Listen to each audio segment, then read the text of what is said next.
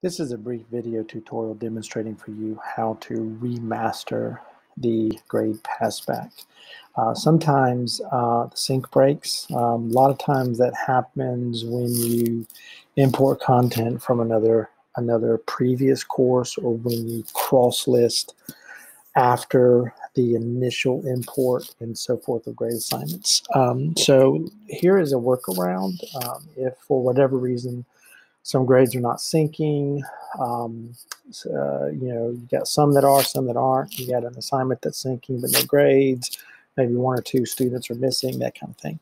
So the quick way to do this, uh, you've got your, um, you can see in this this uh, course, the the categories have been successfully imported. Okay, but to reestablish the con the connection, it's almost as if you're forcing the kind of jump starting, if you would, um, the the sync. Okay, so what you do is you come over here to the um, three dots in the assignments, and then you do import assignment groups. Now, what that is is it's, it's going to just send over your uh, assignment categories from PowerTeacher Pro. It will not create new ones. Um, it will only create the ones the ones that you currently have that are here um, it will just simply overwrite them. Okay, um, so I'm going to click click um, refresh, and you can see nothing's changed.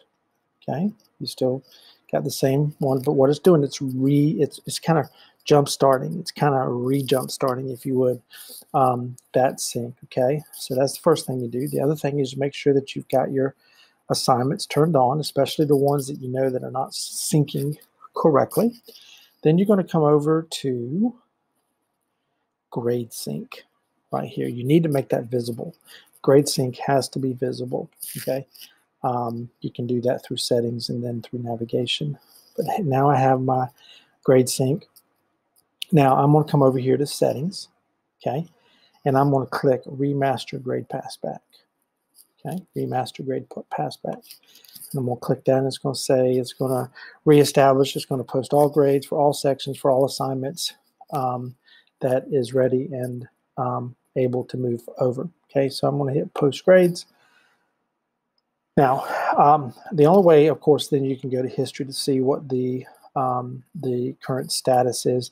Now, the if it says waiting, that's just kind of sometimes that is a, that is a misnomer in terms of uh, it may just be um, um, I've seen um, just through high traffic times, which right now in this this particular time frame, I did this right now at 12:54. It is high traffic time, um, so it just may be waiting. It may take a bit. Uh, sometimes it can take up to 24 hours for it to sync. Um, but always go back and then check it against PowerTeacher Pro. Go back and check it against your assignments. Go back and check it against the grades that you should have already that should have already come over based upon what you have in the grade book okay, based upon what you have in the grade book. Okay, hope that helps, gives you a, a kind of a, um, a just-in-time uh, support of how to remaster the grade passback. So if you've got some syncing issues, that's one way to resolve it. Let me know if you have any questions.